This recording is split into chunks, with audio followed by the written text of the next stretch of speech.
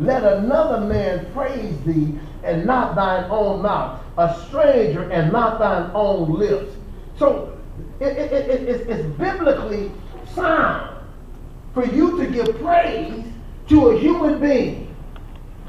And I don't believe there is any more place that an individual should receive praise than at home.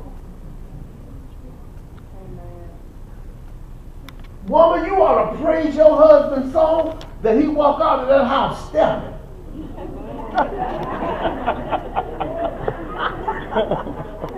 he give you that shiver on time. He should say, baby, you a bad boy. Amen. Amen. Because if you don't tell them, guess what? Somebody else gonna tell them.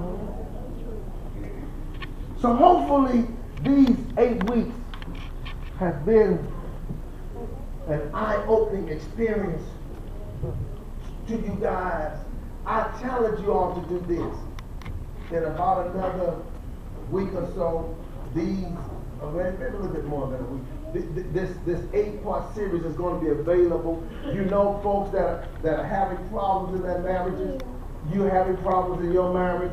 Get the tape, listen, get the uh, CDs, listen to them over and over again. Let them pour into your spirit. Just, just, uh, uh, uh, uh I think it was today. Uh, uh, there's a couple that goes to another church wants to come for some counseling here because people are having mega problems. Mm-hmm. Mega problems in marriages. The enemy is attacking marriages. And I just believe God has a solution to all of our problems. Give the Lord a hand to praise. Come through. Before you leave, let's receive